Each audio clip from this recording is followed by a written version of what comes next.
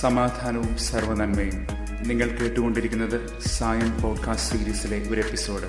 ഞാൻ കപ്പുച്ചൻ സന്യാസ വൈദികനായ ജയന്ത് മേരി ചെറിയാൻ താപസ ചൈതന്യവും നിഷ്കളങ്കമായ വിശുദ്ധിയും സമന്വയിപ്പിച്ച വിശുദ്ധ അലോഷ്യസ് ഗോൺസാഗ എന്ന ജസ്വിറ്റ് സന്യാസിയുടെ തിരുനാളാണിന്ന്. തന്റെ സന്യാസ ജീവിത പ്രവേശനത്തെക്കുറിച്ച് അദ്ദേഹം പറഞ്ഞത് ഇപ്രകാരമാണ്. ഞാൻ ഒരു വളവും പുളവുമുള്ള ഇരുമ്പ് ദണ്ടാണ് അതിനെ വളച്ച് നിവർത്താൻ ഞാനിതാ സെമിനാരിയിലേക്ക് പ്രവേശിക്കുന്നുവെന്ന്. ഇരുമ്പ് ദണ്ടെന്നത് അദ്ദേഹത്തിന്റെ നിശ്ചയദാർഢ്യത്തെയും ബോധ്യങ്ങളുടെ ഉറപ്പിനെയും സൂചിപ്പിക്കുന്ന ഒന്നാണ്. എന്നാൽ തന്നിൽ കുടികൊള്ളുന്ന സ്വാർത്ഥതയും വക്രതയും ഒക്കെ അവന്റെ ദൃഷ്ടിയിൽ പതിയുകയാണ്. അവ ദൈവസന്നിധിയിലേക്ക് അണച്ച് അതിനെ നന്നായി തിരിച്ച് വളച്ചെടുക്കാൻ വേണ്ടി തന്നെ. ദൈവഹിതത്തോടുള്ള തന്മയത്വം കൺകറൻസ് അത് ശിഷ്യത്വത്തിന്റെ കറതീർന്ന ഭാവം തന്നെയാണ്.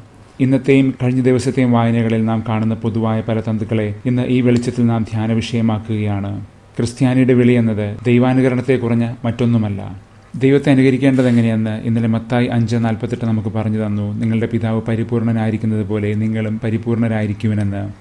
നമ്മളെ സംബന്ധിക്കുന്ന ദൈവിക ഉദ്ദേശ്യം പർപ്പസ് നമ്മെ സംബന്ധിച്ച ദൈവഹിതം ടെലോസ് പൂർത്തീകരിക്കുക എന്നതാണ് ഇതിന്റെ അർത്ഥം.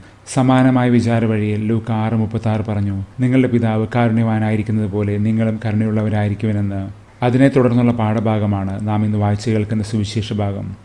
മതപരമായ ബാഹ്യചര്യകളുടെ നെടുന്തൂണുകൾ എന്ന് കരുതപ്പെടുന്ന ദാനധർമ്മം പ്രാർത്ഥന ഉപവാസം എന്നിവ ഹൃദയപൂർവകമാകുന്നത് അതിൽ നാം അർപ്പിക്കുന്ന ഉദ്ദേശവും അത് നാം ചെയ്യുന്ന രീതിയെയും ആസ്പദമാക്കിയിട്ടാണ്. നാം അത് എന്തെങ്കിലും വിധത്തിൽ ചെയ്യുന്നുവെന്നുള്ളതല്ല നിശ്ചിതമായ ആത്മപരിശോധനയ്ക്ക് നമ്മുടെ ഹൃദയത്തെ വിധേയമാക്കേണ്ടത് ഈ സന്ദർഭത്തിലാണ്.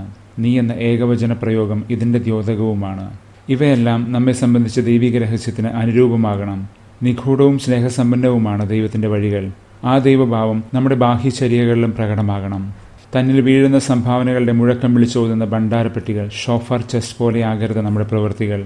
പെരുമ്പറകളും കാഹളങ്ങളും നമ്മുടെ ആചാര പ്രകടനങ്ങൾക്ക് അകമ്പടി പോകരുത്. അതേസമയം നമുക്ക് ലഭിച്ച ദൈവിക ദാനങ്ങളുടെ ദൈവിക ഔദാര്യത്തിന്റെ മഹത്വം വിളിച്ചോതുന്ന പ്രവൃത്തികളായിരിക്കണം നമ്മൾ. ആ ഒരർത്ഥത്തിൽ നമ്മൾ ഈ ഭണ്ഡാരപ്പെട്ടികൾ പോലെ തന്നെയാണ്. ഷോഫാർ ചെസ്റ്റ് പൊങ്ങച്ചത്തിന്റെ വിളംബരങ്ങളല്ല എന്ന് മാത്രം. ദൈവസ്നേഹത്തിന്റെയും ഔദാര്യത്തിന്റെയും വിളംബരങ്ങളാകുമ്പോൾ ഇന്നലെയും ഇന്നുമൊക്കെ പൗലോശ്രീഹ കൊറിയന്തരെ ഓർമ്മിപ്പിക്കുന്നത് പോലെ മൂന്ന് മണിനേരത്തെ ദേവാലയ ബലികളോടുള്ള ഐക്യം പ്രഖ്യാപിച്ചുകൊണ്ട് നിന്ന നിൽപ്പിൽ കെട്ടുകാഴ്ചയൊരുക്കുന്ന വെറും വിശ്വാസ പ്രകടനക്കാരായി മാത്രം നമ്മൾ മാറരുത്. ദേവാലയത്തിൽ അർപ്പിക്കപ്പെടുന്ന ബലിയോടൊപ്പം ജീവിത ബലിയും ചേർത്ത് വെച്ചുകൊണ്ട് ദൈവസന്നിധിയിലേക്ക് ഹൃദയപൂർവം ഉയർത്തുന്നവരായിരിക്കണം നമ്മൾ. വിശ്വാസം ഒരു കെട്ടുകാഴ്ചയോ കുട്ടിഘോഷമോ അല്ല. കറതീർന്ന ആന്തരിക ജീവിതത്തിലൂന്നിയ സ്നേഹപ്രവൃത്തികളാണ്. യഥാർത്ഥ ഉപവാസം അദൃശ്യവുമാണ്. ജോയൽ രണ്ട് പതിമൂന്ന്. ദാനധർമ്മം എന്നത് ദൈവിക നിഷ്ഠ തന്നെയാണ് ഉടമ്പടിയുടെ ഭാവം. നിയമാവർത്തനം പതിനഞ്ച് പതിനൊന്ന്. ഇന്നലെ ശ്രീഹ രണ്ട് കൊറിയന്ത്യർ എട്ടിൽ ഉപയോഗിച്ചൊരു പദമുണ്ട് ഹാപ്ലോസ് ഔദാര്യശീലം ജനറോസിറ്റി ആൻഡ് ലിബറാലിറ്റിയെ പദമായിട്ടാണ് അത് ഉപയോഗിച്ചത്.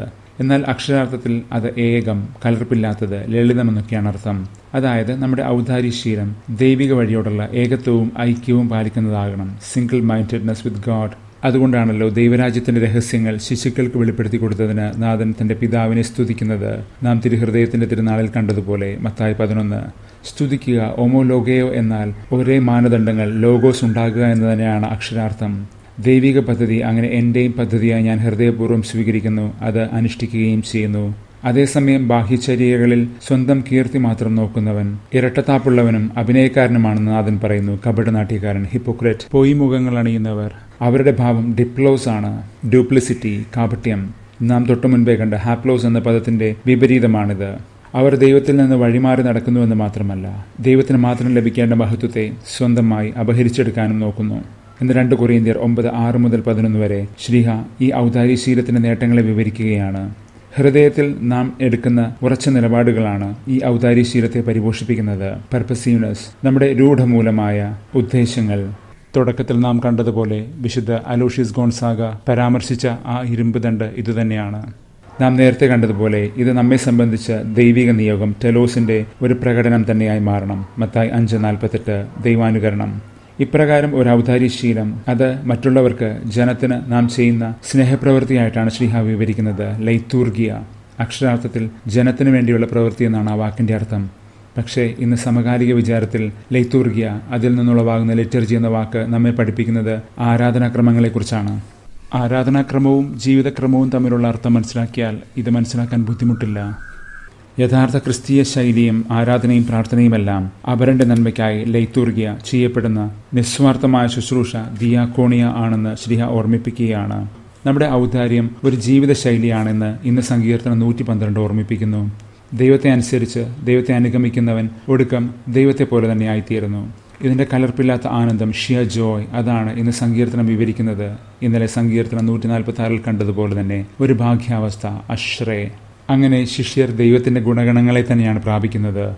നാം ദൈവത്തെ പോലെയാകുന്ന ഈ സാരൂപ്യം അത് ക്രിസ്തുവിന്റെ മനുഷ്യാവതാരത്തിലൂടെ ഏറ്റവും ഭംഗിയായി അവതരിപ്പിക്കപ്പെട്ടു.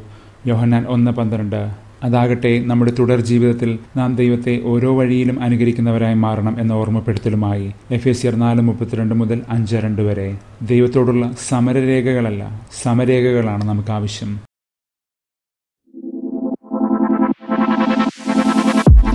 Thank